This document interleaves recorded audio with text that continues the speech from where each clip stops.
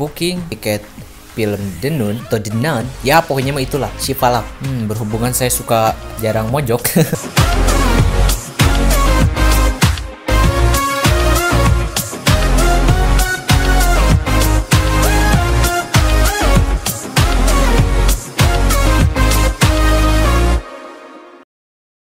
Yo what's up, I'm Muhammad Rizky PS and welcome to my video. Ya pada video kali ini seperti yang kalian tahu di awalnya juga sudah ada Tix ID Pada video kali ini saya akan mencoba booking tiket film The atau The Ya pokoknya mah itulah, Shifalak Tanpa menunggu lama lagi di sini film The itu kalau ngebooking dari tanggal 1 sampai tanggal 9 September 2018 akan mendapatkan tiket satu.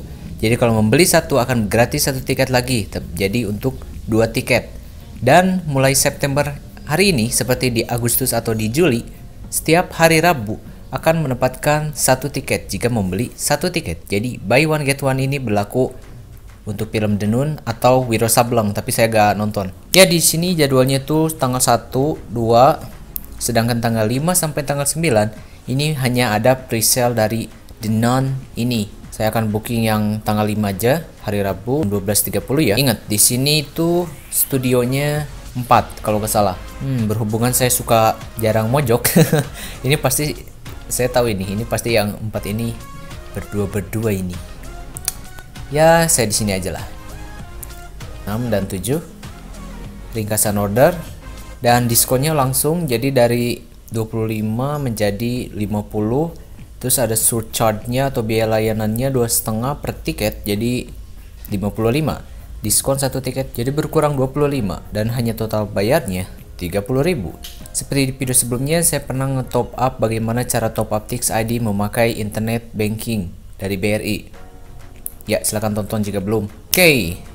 minta SMS ya setelah sekian lama ya tadi ada SMS dulu dan jika sudah kita pay dan ya, ini dia, sudah. Oh, tanpa masukkan ini ya. Biasanya itu ada pin. Tapi ini tidak memasukkan pin, tapi dengan SMS tadi ya.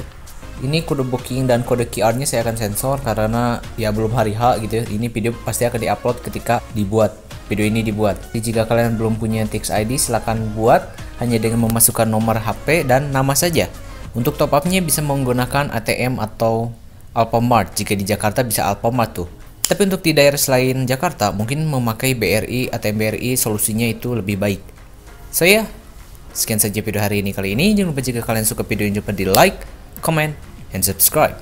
The Nun ini menceritakan tentang sequel dari The Conjuring atau Annabelle. Semoga aja lebih menakutkan dari Insidious The Last Key ya.